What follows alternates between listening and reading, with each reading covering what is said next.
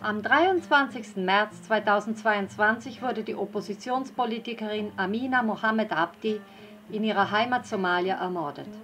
Zu diesem Attentat bekannte sich die somalische Terrorgruppe Al-Shabaab.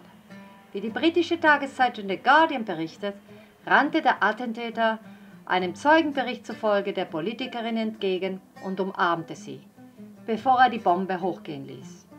Amina Mohammed Abdi befand sich gerade im Wahlkampf. Sie war als Regierungskritikerin bekannt. Die Beschäftigung mit diesem Attentat hat mich dazu bewegt, ein Essay von Ahmed Zeki Yamani zu veröffentlichen, das ich vor einigen Jahren noch zu Lebzeiten des ehemaligen saudischen Ölministers ins Deutsche übersetzt hatte.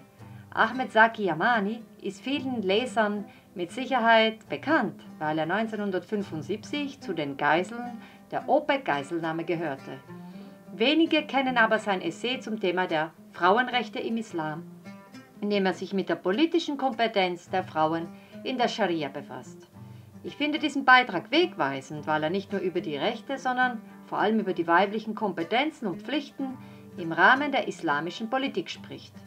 Denn Frauenrechte bedeuten vor allem Frauenpflichten und somit auch die Aneignung von Kompetenzen durch Frauen, um ihre Stimme in der muslimischen Politik und Gesellschaft hörbar zu machen.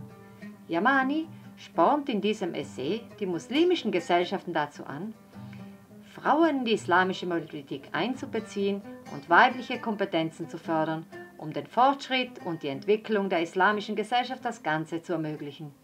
Die Frau in die Politik zu involvieren, ist für den saudischen Politiker und Juristen nicht nur eine Möglichkeit oder eine Option, sondern eine dringende Notwendigkeit für die muslimische Umma, die sich in einer tiefen politischen und sozialen Krise befindet.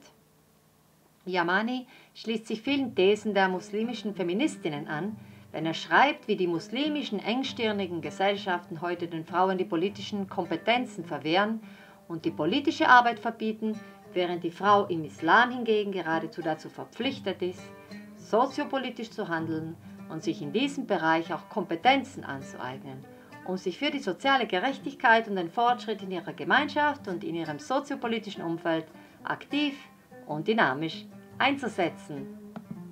Ich danke Ihnen.